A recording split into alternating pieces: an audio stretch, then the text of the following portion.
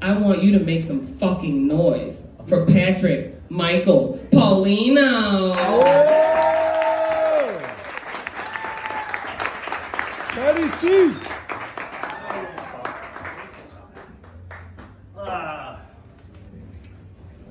So if uh, life is like a box of chocolates, what about the diabetics?